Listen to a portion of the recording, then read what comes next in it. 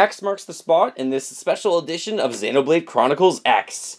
Hey Nintendo fans and collectors, Lithium here, bringing you an unboxing video, of course, of this special limited edition. This game originally released on December the 4th in North America. I am very happy to finally have my hands on this. I did order it on time, early from Amazon, but they sent me the wrong thing, so I'm very excited to finally have this in my collection and to unbox this right now.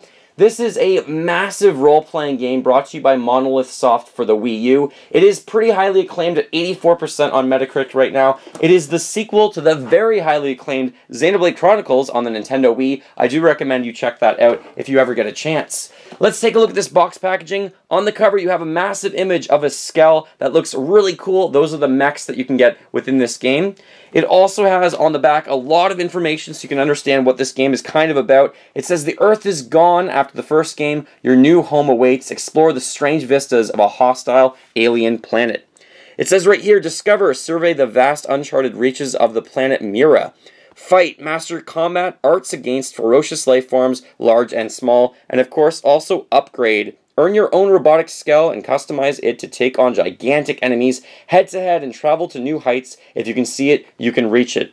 Now, I must warn you, within this game, it actually does take almost two dozen hours for most players until they unlock the Skell the mechanized thing, it's almost as if you need to earn it before you can actually use the Skell and travel anywhere within the world, which kind of makes sense to appreciate the vast scale of this game. Here is what you get in the limited edition set. You do get a 100-page art book, you get the game with a reversible cover exclusive to this set, and you also get a matted art card that is 5x7. The really cool other thing is that you get a USB thumbstick with 10 songs pre-installed. I think it is 840 megabytes in size for any of you wondering. I have my X-Acto knife here, so I'm just going to cut it open along the side and finally get to getting my hands on this for the first time. Like I said, I actually really wanted to play this over the Christmas and holiday break, but because it didn't come in correctly, originally they actually sent me in something very strange. They sent me something that was like a baby ergonomic carrying kit, and I didn't understand why they gave me that whatsoever, so everything is now corrected, which is awesome and it's really cool to get my hands on this. So the first thing out is this art book. This thing is really thick. This looks absolutely tremendous. Wow, the art on this looks incredible. I will flip through some pages of that. Let's just see what else is obviously inside here. So I'll just leave this back there. Here we do have the game, which looks absolutely fantastic with another Skell on there, of course. I will open that as well, but I'll just give you an idea of everything in here. There's the matted art card. And then you also have the USB thumbstick, and this thing is quite heavy. It feels like it's made of steel, actually. So that's a good place to start. This thing looks absolutely incredible. There's a little thing that you can slide up right here to obviously plug this into your computer. This looks like it's actually modeled after something in particular. It looks like it's part of the Lifehold unit from the game itself, so that's really awesome. Like I said, there's 10 songs on this. It holds roughly 840 megabytes from everywhere that I read online. You can put your own things on this. The songs are a little bit hard to get access to and to transport them onto your computer, but it's great that you do have songs from the game, and the music in the game I hear is absolutely outstanding. Let's get to unboxing this actual game right here. So let me just take my X-Acto knife to this plastic and get this out of here.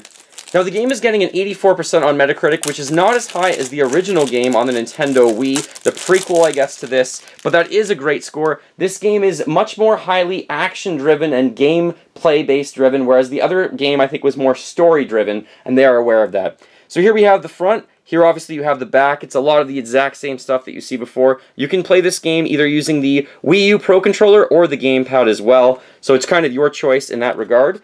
Let's open this up. There is no kind of art book that comes inside of here. There's no instruction manual. And there you have the game disc with the same art as the cover. But let's take a look at the alternate cover that you get with this that I'm told matches, and it does. It matches the special edition set, the front of that. So that's pretty cool right here. You can use either side. I'm probably going to use this side because it is a special edition. So that is absolutely your choice of which one to use. Just going to leave that over here on the side. Let's take a look at this matted art card. So on the back it does say limited edition art print. I'm not sure if they're actually numbered. This one does say Certificate of Authenticity 2015 Nintendo slash Monolith Soft. There is a number down here, but it's like a serial number.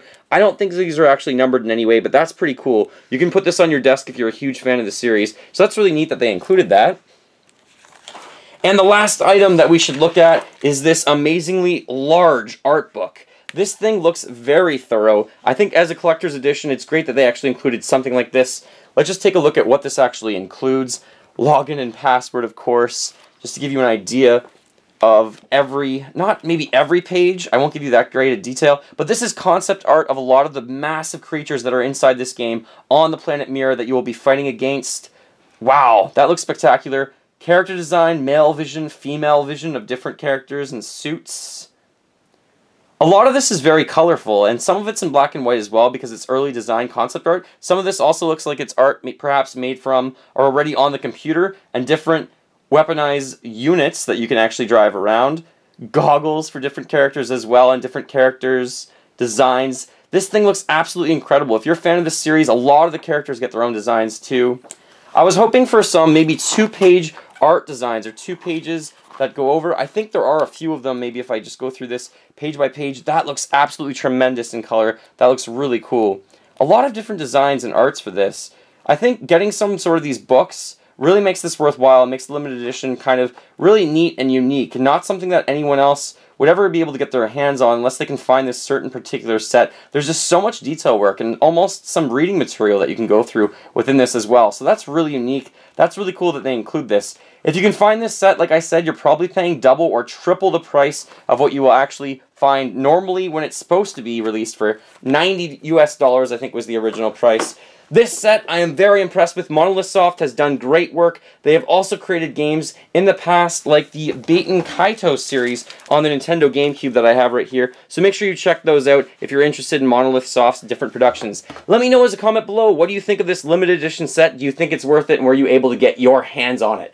Thank you so much for watching. Feel free to fill that like bucket. Follow me on all the social media links in the description below the video. And remember, as always, go collect them all and keep smiling while gaming.